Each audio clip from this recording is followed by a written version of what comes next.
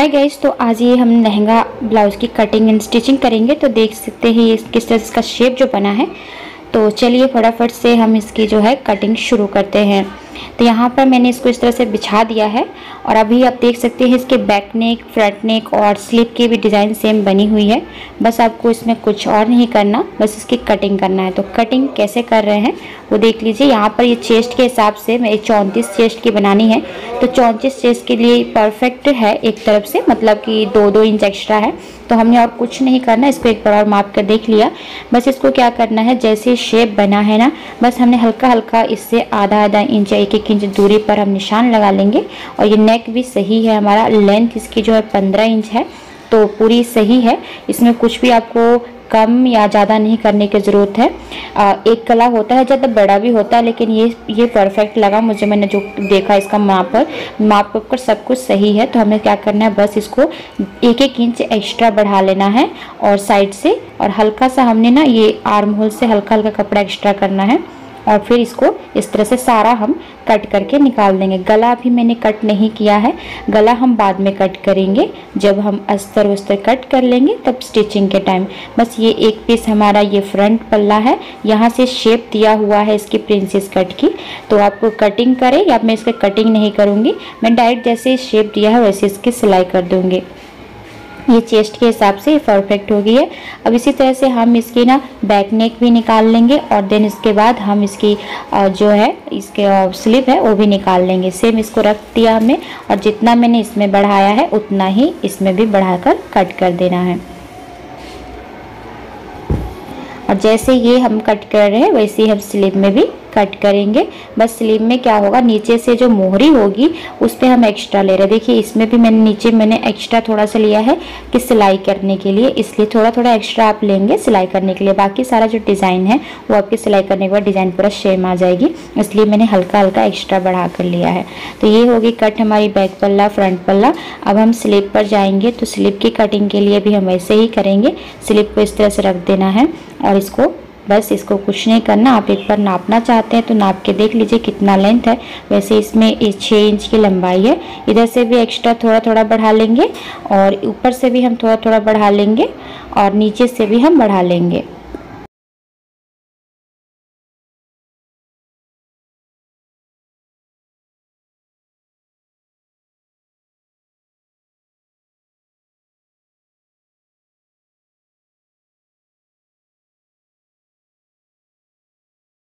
अब हमें अस्तर लेना है और अस्तर पे भी हम इसको इस तरह से रख देंगे और जैसे ये अस्तर पे हाँ, जैसे हमने कट किया है सेम वैसे ही अस्तर का पार्ट कट कर लेंगे।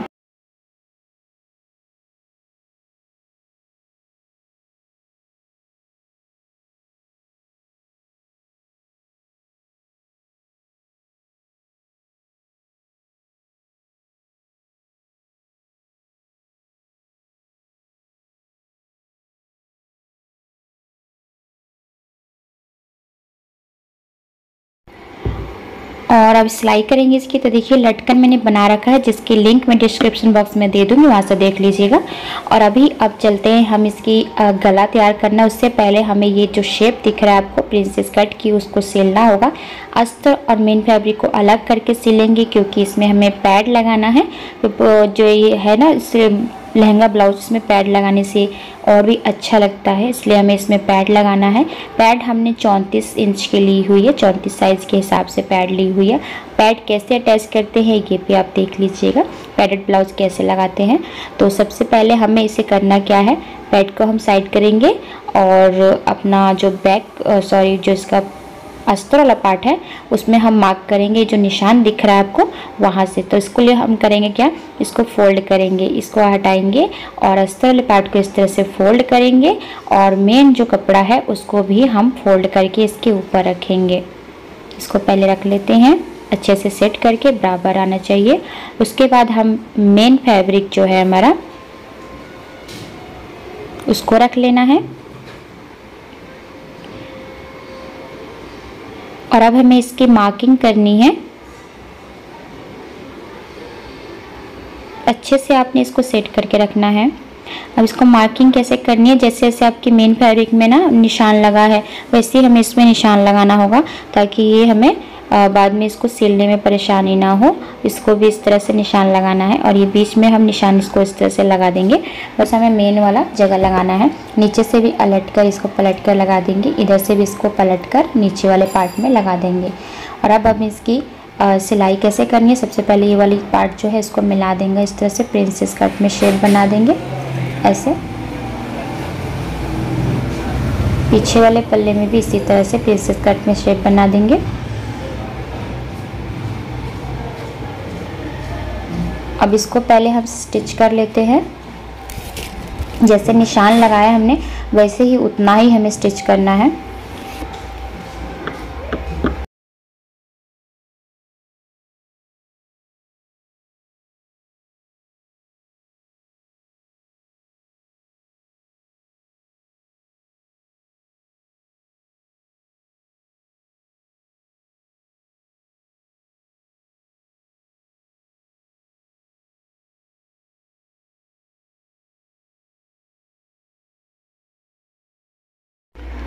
ये अस्तर सिलने के बाद हमें मेन फैब्रिक की सिलाई करनी है तो इसलिए क्या यहाँ पर देखिए, इसको सिलना कैसे है, जैसे हमने उसमें निशान लगाए थे, उसी तरह इसको सिलना है। तो यहाँ पर आप देख सकते हैं, इस तरह से निशान लगा लेना है। और अभी क्या मेन चीज़ आपको याद रखना है, यहाँ पे स्टोन लगा है, आपको वहाँ से निकालना होगा। जहाँ तक सिलाई करनी है ना, उस स्टोन को आप निकाल दीजिए। नहीं तो पता क्या होगा कि अगर हम इस स्टोन को नहीं निकालेंगे तो हमारी सुई टूट सकती है। इसलिए जहाँ तक ये आपकी दिख रही है शेप बनी हुई है, आप वहाँ तक, जहाँ तक को सिलाई करनी है, उस जो ये स्टोन है, उसको आप निकाल कर सिलाई करेंगे। बाकी जैसे आपने अस्तर में सिला था ना, वैसे ही इसको सिलना है।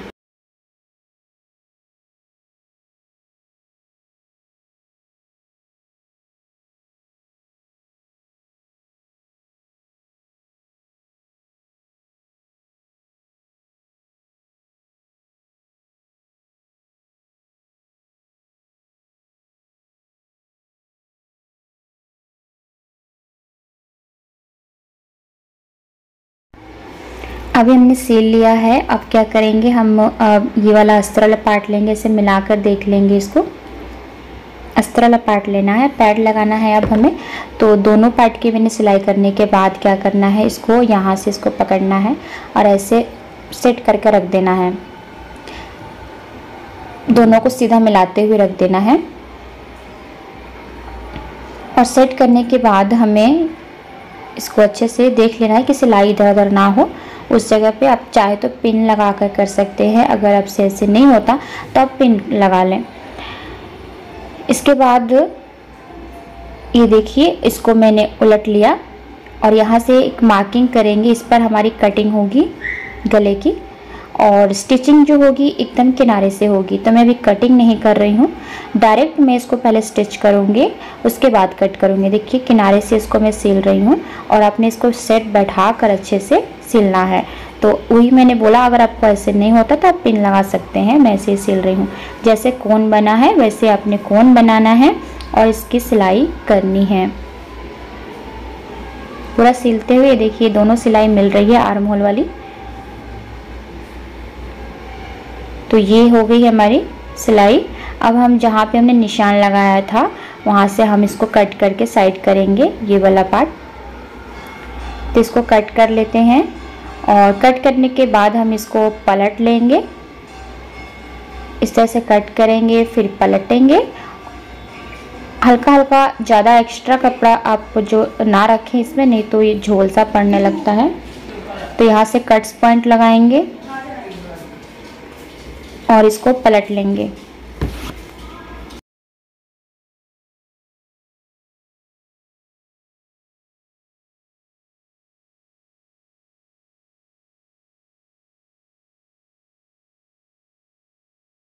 पलटने के बाद हम अस्तर को इस तरह से रखकर सिलाई लगाएँगे अस्तर के ऊपर।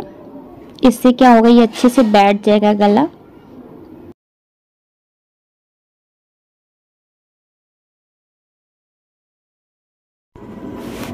ये देखिए, गला अच्छे से बैठ गया है। तो अभी हमने इसका क्या करना है, अब नीचे वाले पार्ट को सिलना है। नीचे वाला जो हमारी कमर होती है, कमर साइड में, इसको भी हम पलट कर सिलेंगे। तो इस तरह से हमें हेमिंग उमिंग करने की ज़रूरत नहीं पड़ेगी। तो ये पैड लगाएँगे पहले उसके बाद। तो इसके लिए पैड लगाने के लिए सबसे पहले आपको ये एक्स्ट्रा कपड़ा जो है कट करना पड़ेगा, अच्छे से सेट करनी पड़ेगी। जो यहाँ से जितना भी आपको एक्स्ट्रा कपड़ा दिख रहा है, सारा कट कर लें।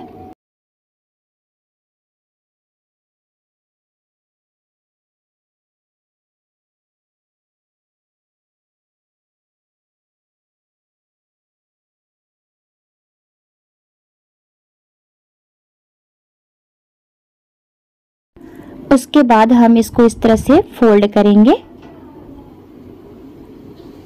और यहाँ पर एक मार्क लगाएँगे निशान 10 इंच की दूरी पर। ऐसे निशान लगाएँगे 10 इंच पर, जो हमारी सेंटर पॉइंट होती है, वहाँ पे निशान लगा देना है। और यहाँ से माप के देखेंगे, ये देखिए साढ़े तीन मतलब साढ़े चार आ रहा है ये जो है ना साढ़े तीन पर आनी चाहिए तो थोड़ा सा इसको अभी हमें और सेटिंग करनी पड़ेगी। साढ़े तीन की जो है परफेक्ट होती है तो यहाँ से पहले आप इसको एकदम परफेक्टली करें, इसको सेट पिन लगा दें, अगर ऐसे सेट नहीं होता है तो। यहाँ पर साढ़े चार जो दूरी आ रही है, हमारी साढ़े तीन आनी चाहिए तो हल्का सा भी हमें और चेक करना पड़ेगा। तो ये देखिए, यहाँ पर निशान जो आ रहा है तो अभी हमारी परफेक्ट हो जाएगी, और अभी हमें जो एपिक्स पॉइंट होती है, उन दोनों की दूरिया जो होती है सेवन इंच की होती है। इसलिए हमने साढ़े तीन लिया है। इधर से भी निशान लगा दिया, इधर से पिन निकाल कर कि पिन से दोनों तरफ़ निशान लग गई है। अब हमें अस्तर में इसको अटैच करना है तो इस तरह से अस्तर को रखना है। और दोनों तरफ़ निशान लगा देना है। अब इसको इस तरह सेट करने के लिए हमें बीच में इसको भी निशान लगाना पड़ेगा, तभी ये बीच में लग सकता है। अच्छे से बीच में मार्किंग करने के बाद हम इसको इस तरह से पलट कर यहाँ पर एक पेन लगाएँगे। फिर इसको भी इस तरह से मार्किंग करने के बाद ऐसे पलट कर एक पिन लगाएँगे। और अब हमें इसको सुई से टक करना है। तो इसको क्या करेंगे? बार रख कर देख लेंगे सेट करके। देखिए, अच्छे से सेट हो गया है। तो हमें इसको स्टिच नहीं करना है। हमने सुई से इसको अच्छे से, सुई में मोटा धागा, जैसे देखिए अभी इसकी परफेक्ट दूरी आ गई सेवन तो अपने सुई में अच्छे से दो तीन बार जो धागा डालना है और अच्छे से इसको बीच में सिर्फ़ सिलाई करनी है।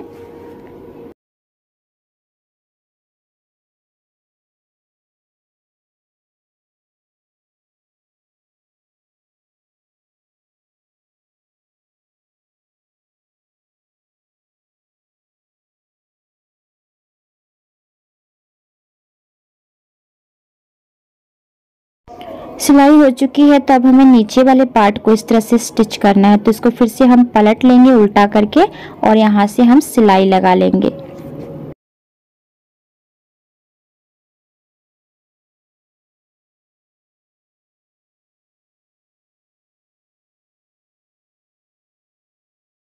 सिलाई करने के बाद इसको हम सीधा कर लेंगे परफेक्टली और उसके बाद हमें सारे तरफ़ से इसको बंद कर देना है, यानी कि शोल्डर से लेकर पूरा नीचे तक हम इसको यहाँ से गले से भी सिलाई कर देंगे और चारों तरफ़ से इसको हम स्टिच कर लेंगे।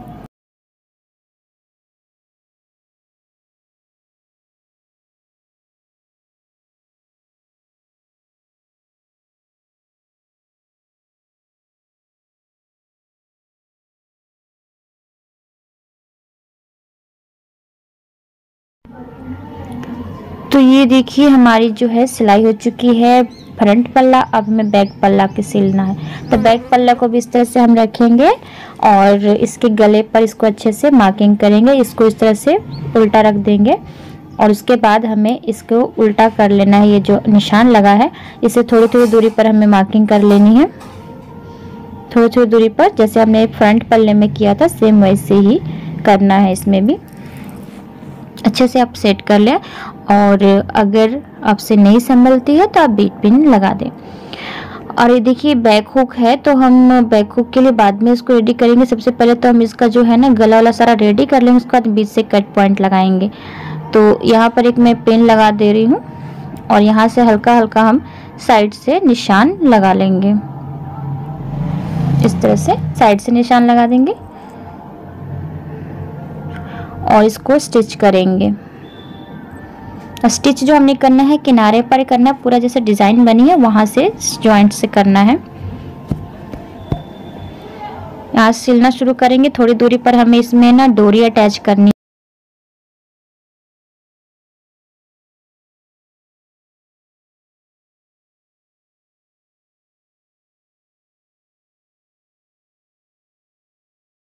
और डोरी अटैच किया, उसके बाद हमने दोनों तरफ़ से डोरी अटैच करने के बाद यहाँ से जहाँ से मार्किंग किया है, वहाँ से इसको कट्स लगाना है और अच्छे से इसको कट करना है। मतलब ज़्यादा एक्स्ट्रा कपड़ा रखने से झोल ना पड़े वैसे आपको ये ध्यान रखना है। और सभी को हम इस तरह से कट कट कर लेंगे और इसको भी हम कट करने के बाद नीचे वाला पार्ट पहले सी लेंगे। इसको हल्का हल्का कट्स पॉइंट लगा दें यहाँ से, जहाँ से कौन बनी है। एक्स्ट्रा कपड़ा को ना रखें, नहीं तो आपके जो गला है परफेक्टली बैठेगी नहीं। ये ध्यान रखिएगा और यहाँ से सभी से कट्स पॉइंट लगा देना है। और अब इसको पलट के एक बार चेक कर सकते हैं इसका जो नेक कैसा आ रहा है लुक इसका इस तरह से। और इसकी जो डोरी है, मैंने आपको बताई कि इसकी डिस्क्रिप्शन बॉक्स में मैं इसका लिंक दे दूँगी, वहाँ से आप देख लीजिएगा। ये देखिए, ऐसे परफेक्टली जो है, बैठ गई है तो अभी आपको करना क्या है, इसको ना नीचे वाले पार्ट को सिलना है। तो उसके लिए अभी आपको इसको पलटना पड़ेगा और पलट कर सिलना पड़ेगा।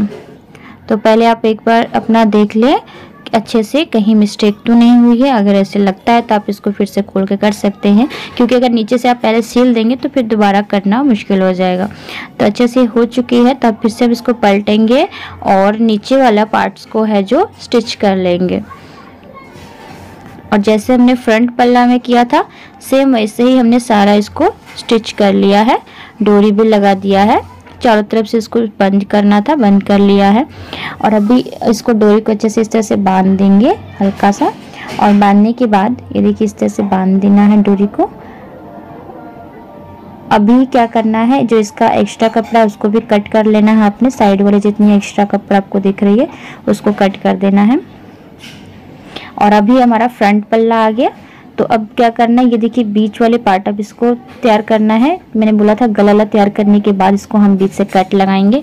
तो अभी हम इसका बीच से कट पॉइंट लगाएँगे और यहाँ पर हम ना हुक और आई जो है, बनाते हैं हुक की और आई की तो वो हम तैयार कर लेंगे।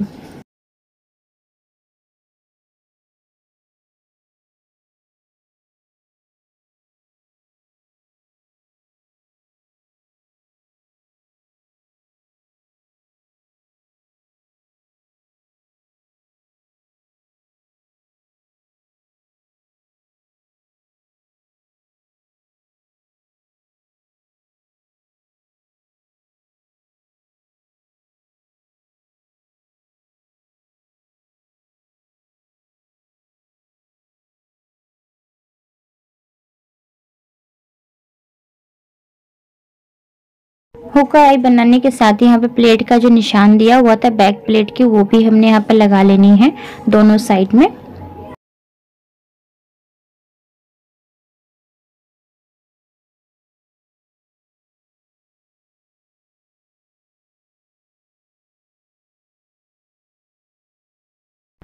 अब ये हमारी हुक्कर आई की और पीछे की प्लेट्स लग गई है। अब जो बैक पल्ला है, अच्छे से रेडी हो चुका है। तब हम इसके दोनों के कंधे सो है जोड़ेंगे और साथ में स्लिप भी जोड़ लेंगे। स्लिप पहले इसके जहाँ पर मैंने पिन लगा दिया ताकि इधर से उधर नहीं होगा और अच्छे से सेट हो जाएगा। तो अभी हमें इसको ना कंधे भी मैंने जोड़ लिए हैं दोनों के। और अभी हमें स्लिप तैयार करना है। स्लिप में भी आपने उसी तरह से करना है। अस्तर और मेन फैब्रिक को इस तरह से जोड़ के पलट देना है। फिर चारों तरफ़ से इसको बंद कर देना है, सिलाई कर देना है।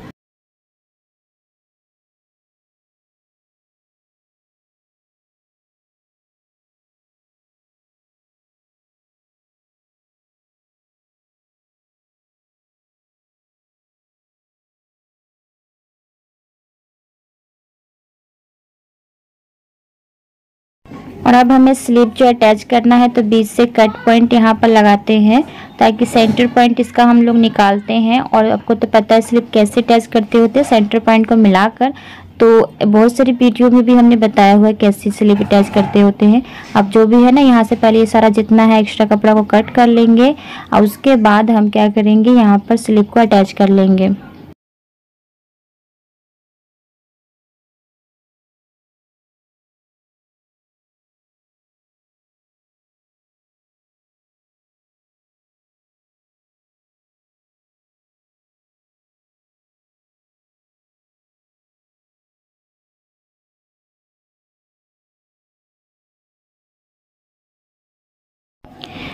उसके बाद हमने फिटिंग का निशान लगा दिया है और अब इसे हम फिटिंग कर लेंगे दोनों साइड से।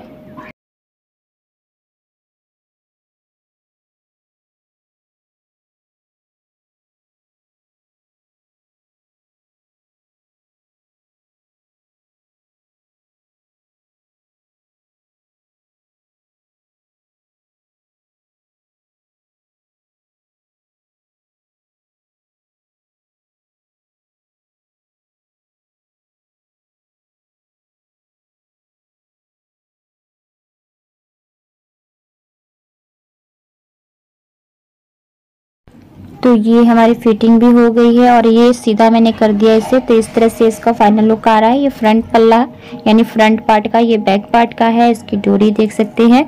तो इस तरह से हम ना लहंगे ब्लाउज की कटिंग और स्टिचिंग करते हैं। तो उम्मीद करती हूँ कि आपको आज की वीडियो अच्छी लगी होगी। तो ऐसे ही आगे आने वाली वीडियो के लिए चैनल को सब्सक्राइब कर लीजिए लाइक कर दीजिए कमेंट और शेयर कर दीजिए। थैंक यू मिलते हैं आपसे अगले वीडियो में। Bye bye